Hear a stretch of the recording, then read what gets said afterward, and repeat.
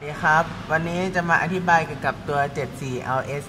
138 P2X Decoder นะครับ อันนี้ก็จะดูใต้ Data Sheet กันก่อนเลย อันนี้เป็น VCC ก็ต่อ High อันนี้เป็นกาวก็ต่อลงกาวนะครับ จะมี Enable อยู่ 3 ตัว คือ 3 ช่องนี้